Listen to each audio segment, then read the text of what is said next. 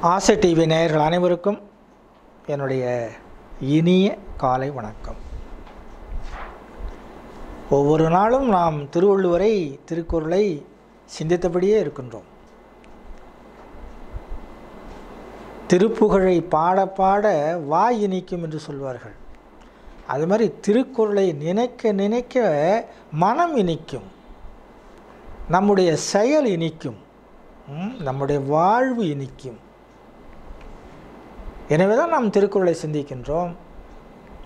அதனால் தான் நீதிமன்றமே சொன்னது நம்முடைய தமிழ்நாட்டு குழந்தைகளுக்கு அறத்துப்பாலையும் பொருட்பாலையும் அவர்கள் பன்னிரெண்டாம் வகுப்பு முடிப்பதற்கு முன்னால் சொல்லிக் கொடுங்கள் என்று சொல்லி நீதிமன்றமே இங்கே வரிந்து கேட்டுக்கொண்டு சொல்லி இருக்கிறது நீதிபதிகள் சும்மா சொல்லுவார்களா?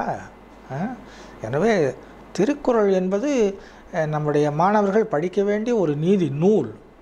திருக்குறள் என்பது குடும்ப உறுப்பினர்கள் ஒவ்வொரும் தெரிந்து கொள்ள வேண்டிய உன்னத வாழ்வியல் இலக்கணம். ம்? சரி நேயர்களே இன்றைக்கு ஒரு முக்கியமான ஒரு குரலை பார்க்க போகிறோம். முக்கியமான குரல் ம்? நல்ல குறள் என்று சொல்லவில்லை. முக்கிய ஏன்னா எல்லாருமே நல்ல குறள் தான். இன்றைக்கு முக்கியமான குரல் இது என்ன குறள் அப்படின்னு சொன்னால் குறள் ஒரு பக்கம் இருக்கட்டும் செய்தியை சொல்கிறேன் முதல்ல. இந்த கொடுத்து வாழ்தல்ங்கிறது பாருங்க அது ரொம்ப முக்கியமானது. கெடுத்து வாழ்தல் என்று இருக்கக்கூடிய இந்த சமுதாயத்தில் நம்ம இப்போது கொடுத்து வாழ்தல் என்பது பற்றி சிந்திக்க போகிறோம். நம்முடைய உழைப்பால் ஈட்டிய செல்வத்தை ஒரு பகுதியை மற்றவர்களுக்காக கொடுத்து வாழ வேண்டும் என்பது இலக்கியங்கள் மட்டும் கூறவில்லை நம்முடைய மதங்கள் கூறுகின்றன. என்னுடைய அருமை நண்பர் இஸ்லாமிய நண்பர் ஒருவர் கூறினார். அவர் சொன்னார் தாம் ஈட்டக்கூடிய வருமானத்தில் ஐந்தில் ஒரு பகுதியை மற்றவர்களுக்கு ஈகையாக கொடுக்க வேண்டும் என்பது குரான் இஸ்லாமிய விதி என்று சொன்னார். எவ்வளோ சிறப்பாக இருக்கிறது. இது எல்லா மதத்திலுமே இருக்கிறது. ஆனால் நாம் மதங்களை நல்ல செயலுக்கு பயன்படுத்தாமல் சில சமயத்தில் தவறான போக்குக்கு பயன்படுத்துகிறோம். சரி கத்தி இருக்கிறது பழம் வெட்டவும் பயன்படுத்தலாம் மற்றவனுடைய தலை வெட்டவும் பயன்படுத்தலாம். அறிவு இருந்தால் பழம் வெட்டுவதற்கு மட்டும் பயன்படுத்த வேண்டும். அறிவில்லாதவன் தலை வெட்டுவதற்கும் பயன்படுத்திவிட்டு சிறையில் சென்று சோம்பி இருக்கின்றான் அழுது கொண்டு உட்கார்ந்திருக்கின்றான். அதானே நிலைப்பாடு இன்றைக்கு? எனவே கொடுத்து வாழ்தல் என்பது வாழ்வினுடைய தலையாய நோக்கம் நேயர்களே. ஈகை ஈகை ஈதல்.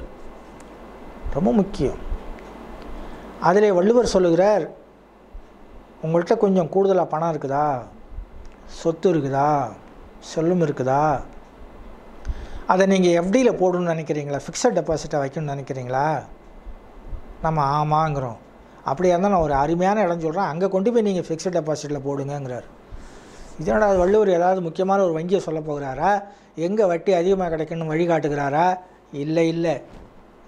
அவர் எங்கே போட சொல்லுகிறாருன்னு சொன்னால் இந்த வறியவன் இருக்கின்றானே.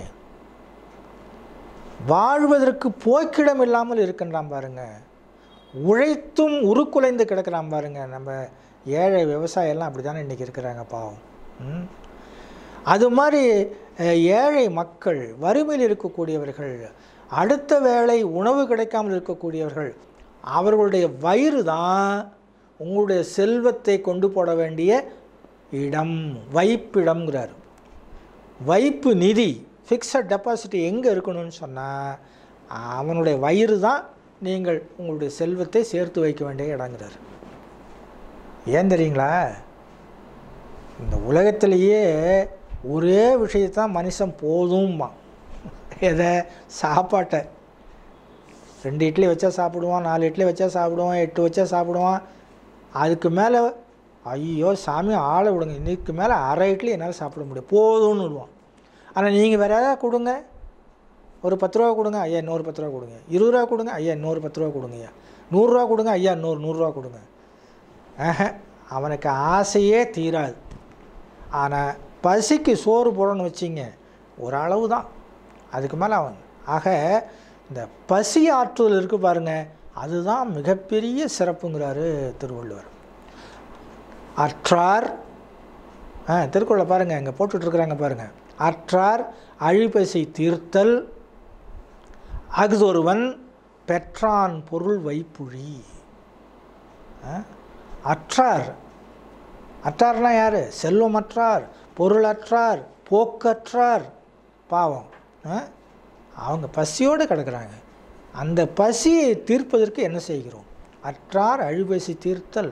அஃதொருவன் பெற்றான் பொருள் வைப்புழி. அதுதான் நம்ம செல்லும் பெற்றதற்கு அடையாளமே தவிர அதை விட்டுட்டு நம்ம பூதம் காக்கிற மாதிரி நம்ம சம்பாதிச்ச செல்வத்தெல்லாம் யாருக்கும் பயன்படாமல் இந்த நாய் பெற்ற தேங்காய்னு சொல்லுவாங்க. நாய்க்கு ஒரு தேங்காய் போடுங்க அப்படியே முழு தேங்காயை. அது உடச்சியும் திங்காது. அடுத்தவன்கிட்ட கொடுக்கவும் கொடுக்காது. தானே உருட்டி அங்கே உருட்டி இருட்டு கண்டுபிடி சாக்கடையில் நட்டு போயிடும். அதனால் என்ன பயன்? சொல்லுங்கள் பார்க்கலாம். அதனால் நம்முடைய செல்வத்தில் ஒரு பகுதியை ஒரு குழந்தைய படிக்க வைக்கலாம் பசியோடு இருக்கிறவங்களுக்கு சாப்பாடு போடலாம் ஏதாவது ஒன்று செய்யலாம். இப்போ அமெரிக்காவிலையும் நம்ம கனடாவிலையும் நம்ம என்ன நினச்சிட்ருக்குறோம் ஓ அமெரிக்கா பணக்கார நாடுங்கிறோம். கனடா பெரிய பணக்கார நாடு இல்லைங்க. அங்கேயும் ஏழைகள் இருக்கிறார்கள். அங்கே உணவு வங்கி இருக்கிறது.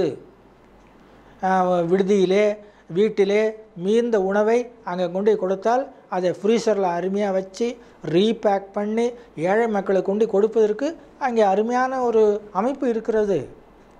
நம்முடைய நாட்டில் இப்போ தான் கொஞ்சம் கொஞ்சமாக வந்துகிட்டு இருக்குது. நம்மளும் அது மாதிரி செய்யணும். நம்ம கரூர்லேயே ஒரு அருமையான விஷயம் இருக்குது. ஞானாலயான்னு ஒரு இடம் இருக்குது. அவர்கள் அருமையாக சமைச்சு சுட சுட சாப்பாடு பண்ணி நூறு ஏழை முதியவர்களுக்கு ஒவ்வொரு நாளும் கொண்டு போய் அவங்க இருப்பிடத்தில் கொண்டு கொடுக்குறாங்க. சுட சுட சாப்பாடு. எவ்வளோ பெரிய புண்ணிய காரியம்? நான்லாம் என்னுடைய பிறந்த நாளைக்கு என்னுடைய மூதாதையருடைய நினைவு நாளைக்கெல்லாம் அங்கே தான் கொண்டு போய் நிதி கொடுக்குறேன். நீங்களும் கொடுங்கள். எவ்வளோ பெரிய சிறப்பு பாருங்கள் அவருடைய இடத்திற்கே சென்று தூய்மையாக சமைத்து சுட சுட கொண்டு போய் கொடுக்கிறார்கள். எவ்வளோ புண்ணிய காரியம்? அதுதான் வள்ளுவர் சொல்லுகிறார் அற்றார் அழிவசை தீர்த்தல் அகுதொருவன் பெற்றான் பொருள் வைப்பு உழி. என்ன நேயர்களே? ஏதோ புதிய புதிய சிந்தனைகளை வள்ளுவர் கொடுத்து கொண்டே இருக்கிறார். நமக்கும் ஒரு ஒளிக்கீற்று நம்முடைய அறிவிலை வீசிக்கொண்டே இருக்கிறது. அதுதான் திருக்குறளுடைய சிறப்பு. வாழ்வை செம்மையாக்க வந்த ஒரு வடிவம்தான் அந்த திருக்குறள் வடிவம். அந்த புத்தகம் நம்மிடத்திலே இருக்கட்டும் அந்த திருக்குறள் சிந்தனை நம்மிடத்திலே மலரட்டும் என்று கூறி நாளையும் சந்திக்கலாம் என்று சொல்லி இந்த அளவிலே விடைபெறுகிறேன். நன்றி வணக்கம்.